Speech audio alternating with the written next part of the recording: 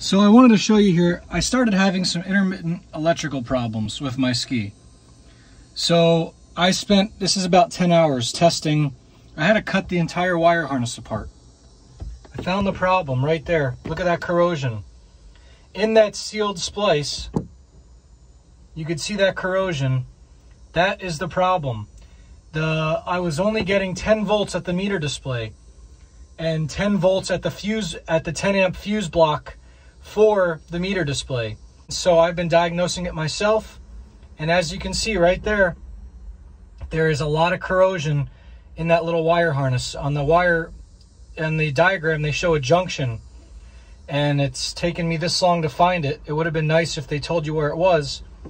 But you could see that that's a factory defect in the harness. Spent 10 hours testing the ECU, testing every single pin, testing the CAN bus, testing the immobilizer, testing the continuity of every single circuit.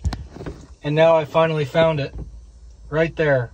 Intermittently, my display would reboot or not turn on, and my immobilizer and my meter unit both had low voltage. That's your problem right there. So I'm going to cut those wires out, solder them back together, shrink wrap them, and we should be good to go. It took me a long time to find this, and you could see that that corrosion is actually epoxied in there with those wires if you are experiencing these issues. Basically, you got to find these resin dipped splices in the harness and you have to cut this one out completely. It's just fucked. All the wires in there are just completely dissolved. So we're going to cut it out. We're going to resplice all those wires. We're going to solder them. We're going to shrink wrap it properly and it should never have a problem again. But if you're having this problem with your ski and you're not mechanically adept, then you're going to want to have them watch this video. They're never going to find, they're never going to figure it out on their own. You're just going to have to show them because your ski will be there for months. You're going to have to cut away the corroded defective connector. And then that'll leave you with five wires. You see them right there.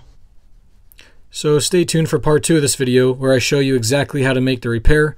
Um, again though, I do not recommend that you do your own repairs on the ski. I do recommend that you contact your Kawasaki dealer and notify them that you are having issues with your watercraft and allow them to fix it.